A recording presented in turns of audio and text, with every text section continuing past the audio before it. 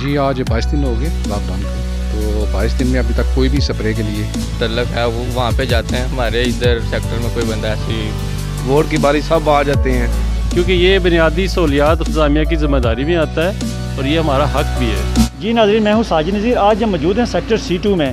ناظرین جہاں پر کرونا سے بچنے کے لیے تمام حفاظتی تدابیر پہ عمل کیا جا رہا ہے وہاں پر کرونا سے بچنے کے لیے جو اقدامات ہیں وہ سیکٹر سی ٹو کے لوگوں کا کہنا ہے کہ یہاں پر نہیں ہو رہے سپرے نہیں کی جا رہی۔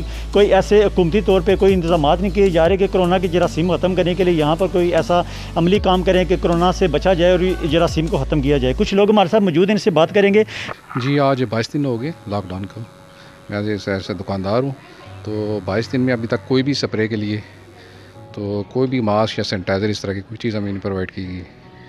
تو اس طرح کا کوئی کام نہیں ہو رہا۔ آج بائیس دن سے کوئی بھی ٹیم سرکاری سطح پہ یہاں نہیں پہنچی۔ اچھا ایم ڈی اے والے تو ماسک اور سینیٹائزر وغیرہ تو جی ایسی چیزیں صرف سیاسی حد تک کوئی دے کے گئے ہیں۔ وہ تو کہہ رہے تھے کہ ہم ڈور ٹو ڈور جائیں گے۔ میں اسٹل بائیس دن سے گھر میں ہوں۔ ٹھیک ہے۔ باہر نہیں نکلتا۔ صرف آپ کے انٹرویو کے لیے تھوڑا سا باہر رہا ہوں۔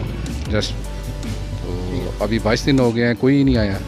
یہ تو یہ کہ کوئی سپرے کرنے کے لیے یہاں پر آیا ہے کوئی؟ کوئی بندہ نہیں آیا کچھ بھی نہیں کوئی ورکر جو ہے جو اپنے جن کے ساتھ ان کا اپنا کوئی ریلیشن ہے کوئی تعلق ہے وہ وہاں پہ جاتے ہیں۔ ہمارے ادھر سیکٹر میں کوئی بندہ ایسی ٹیم نہیں آئی سپرے کے لیے۔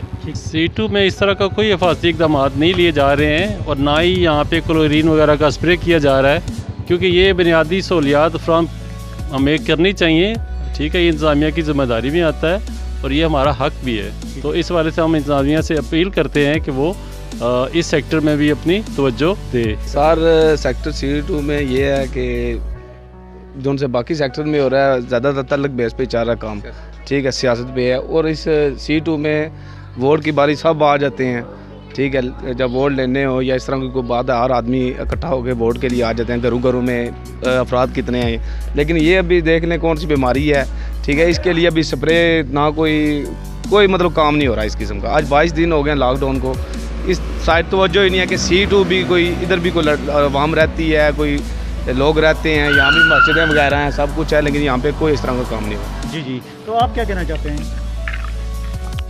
میں یہی کہنا چاہوں گا کہ ہمارے محلے کو بھی جو ہے نا ماسک اور گلفس اور اسپرے اسپرے پرووائڈ کیا جائے جو سی ٹو کے چھ لوگ ہیں وہ یہی چاہتے ہیں کہ ہمیں صرف ایک ہی مطالبہ ہے کہ سینیٹائزر سرجیکل ماسک اور گلوز ہمیں دیے جائیں اور ہمارے گھروں کے اندر سپرے کی جائے جیسے کہ باقی بھی تھوڑے تھوڑے سیکٹر میں ہو رہا ہے تو ہم بھی حکومت سے اور انتظامیہ سے مطالبہ کرتے ہیں کہ سیکٹر سی ٹو میں آئیں ان لوگوں سے ملے اور دیکھیں کہ یہاں پر کون کون سی سہولیات ان کو دی گئی ہے یا نہیں دی گئی کیمرہ مین راجہ شہزاد کے ساتھ ساجد نذیر عدالت نیوز میرپور آزاد کشمیر